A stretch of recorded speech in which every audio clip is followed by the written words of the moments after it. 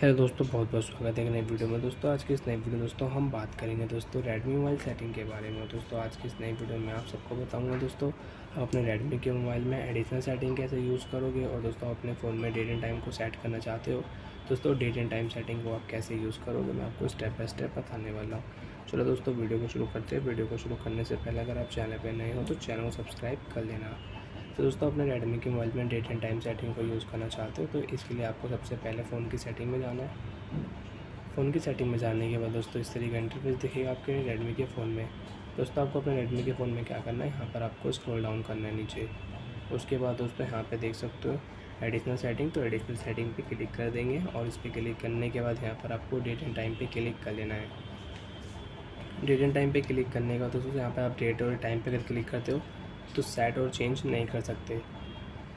पहले आपको set time automatic setting को ऑफ़ करना पड़ेगा। ऑफ़ करने के बाद दोस्तों, यहाँ पर आपको डेट पे क्लिक कर देना है। डेट पे क्लिक करने के बाद दोस्तों, यहाँ पर आप देख सकते हो, इसके यहाँ सेवनटीन है तो यहाँ पे मैं इसको एटीन कर देता हूँ। और दोस्तों टाइम को यहाँ पे हम चेंज कर लेते हैं। यहाँ पे टाइम को दोस्तों, यहाँ पे मैं सेट कर लेता हूँ फाइव पी के आसपास। या एएम करना चाहते हो तो ए भी कर सकते हो आप यहाँ पर राइट साइड पर दोस्तों, आप जैसे तो एम करोगे तो आपका टाइम एएम में शो करेगा पीएम पे करोगे तो आपका टाइम पीएम में शो करता है। ओके पे क्लिक कर देना दोस्तों, आपके फ़ोन में डेट एंड टाइम सेट और दोस्तों, आप ये चेक कर सकते हो अभी आपके फ़ोन में क्या टाइम हो रहा है। और दोस्तों, स्क्रीन को लॉक कर देते हैं तो यहाँ पर आप देख सकते हो। टाइम दोस्तों, यहाँ पर दोस्तों आप फाइव है और यहाँ पर आप देख सकते हो, डेट यहाँ पे सिक्सटीन और एटीन दिखा रही है, सेवनटीन के बदले संडे यहाँ पे है आज। तो दोस्तों, यहाँ पर आप देख सकते हो, इस तरीके से आपके फ़ोन में डेट एंड टाइम सेटिंग को आप सेट कर सकते हो, यूज़ कर सकते हो।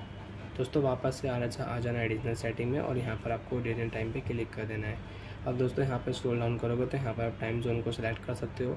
और उसके बाद दोस्तों आप अपने टाइम फॉर्मेट को चेंज करना चाहते हो। यहाँ पर आप फाइव पी की जगह दोस्तों यूज़ करना चाहते हो ट्वेंटी फोर आवर सेटिंग को। तो इस पर क्लिक कर देना ट्वेंटी फोर आवर वाले पे।